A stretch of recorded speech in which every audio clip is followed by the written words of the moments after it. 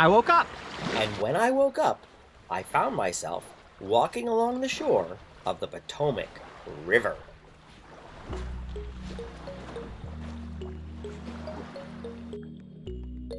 In the sand on the ground, there were lots of shells. Next to the beach, there were these great big cliffs. I spent all afternoon looking through the shells on the beach, looking and looking for something special. And I found some shark teeth.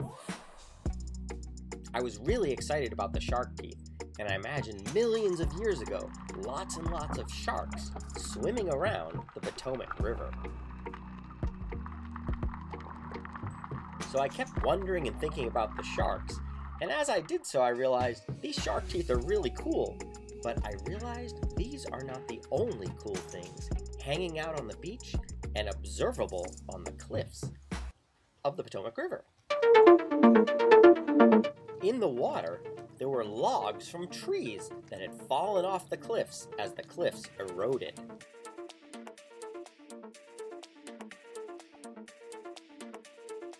In the water, there were also really cool rocks. I wasn't sure where these rocks had come from. And as I looked closely, it seemed like there were some curly things, maybe fossils, in the rocks. Maybe they also fell off the cliffs as rainwater washed the dirt away and caused the cliffs to collapse. At the bottom of the cliffs were layers and layers of bivalves. Those are like clams or animals that live in a shell that have two parts. There were layers upon layers of bivalves in the lower parts of the cliffs. And then when I looked up, there were lots of twirly things that looked just like what I had seen in the rocks on the water. What were the twirly things in the rocks, and how did they get there? After looking closely, I realized the twirly things looked like shells from an animal I'd seen before. That animal was a snail, or a kind of gastropod.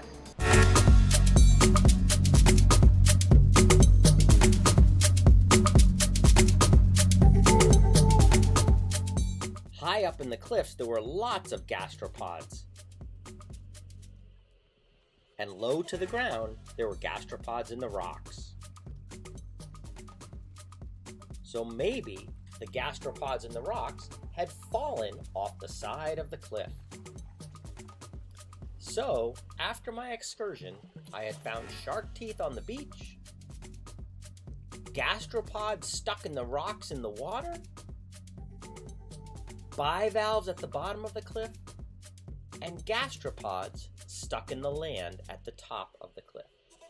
And as I thought about everything I saw, I wondered how did the different types of fossils of the different animals get there?